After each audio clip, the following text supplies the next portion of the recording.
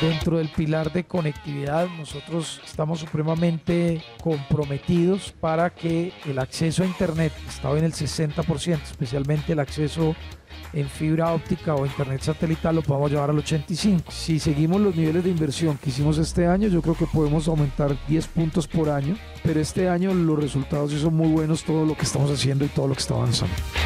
El objetivo es formar un millón de colombianos. Creo que este año vamos a llegar ya al millón, es decir, que nos va a sobrar tiempo y resultados para llegar más o menos a un millón y medio alrededor del gobierno. Y ahí tenemos cuatro grandes estrategias. primer tema es Senatec, el segundo programa se llama Talentotec, Colombia Programa, que es el que estamos llevando en formación a los niños chiquitos. Pero además tenemos 240 mil cursos cortos con certificados. Cualquier colombiano pueda formarse y pueda avanzar en esos temas.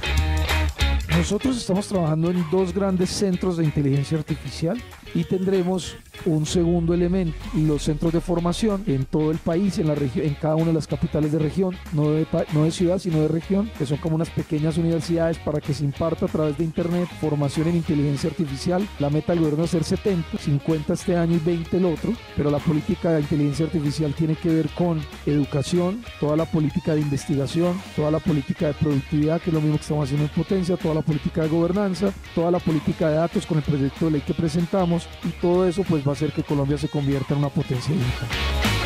Vamos a tener la presentación ya de un proyecto que llevamos un año trabajando, que fundamentalmente es identificar las apuestas productivas que ya las regiones están trabajando, cómo podemos hacer la transformación y volverlos digitales. Estamos muy contentos con todos estos avances y estamos trabajando fuertemente en el tema.